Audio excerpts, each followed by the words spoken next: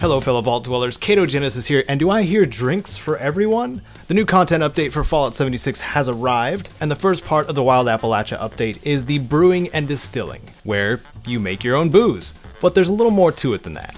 Yes, you can make the normal stuff, beer, whiskey, vodka, etc., but you can also brew specialized drinks that make this feel a lot more like alchemy than brewing.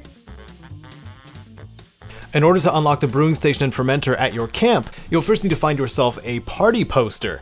These are currently available in the Atom Shop for free up until April 9th. So you can place this poster at your own camp or a public workshop, and then activate it or find one at a train station. Doing so will give you a miscellaneous objective, leading you into the quest called Wasted on Nukashine. I don't see a need for a walkthrough on this quest because it is really straightforward and pretty entertaining, so I'll leave that for you to discover. Afterwards, in the brewing station, you'll be able to make several basic alcoholic beverages, as well as Nukashine. The crafting ingredients are pretty straightforward for the alcohol, requiring mostly boiled water, razor grain, corn, and wood, along with a few other choice ingredients depending on what you're making. Stopping by one of the many farms in Appalachia or making your own with various produce will ultimately help you out. When you make alcohol from the brewing station, you make a fermentable version of that alcohol. And to get its full effects, you actually need to put it in the fermenter to ferment, which takes a little bit of time. When you activate the fermenter, it has access to your stash as well, and bear in mind that you are the only one that will see this. Nobody can really steal your alcohol that's brewing. From here, you can assign which alcohol you want to ferment, up to a total of 10 at a time. And then you wait.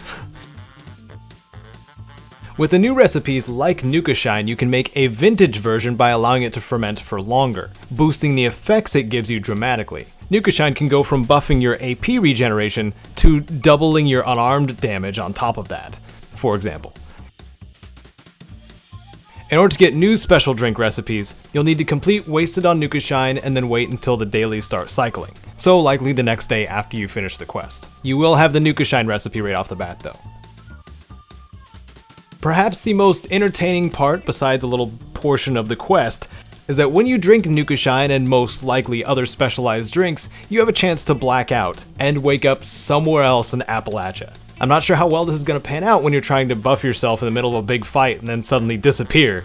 But either way, it's pretty entertaining. Speaking of, I'd love to hear in the comments where your character has blacked out and woken up. And also, which recipes have you discovered? Leave a comment, I'd love to know.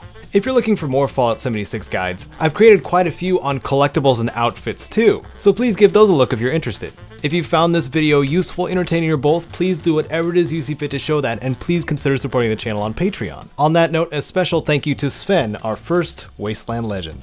As for the rest of you, thank you so very much for watching. This is Caedo Genesis, wishing you a happy Reclamation Day.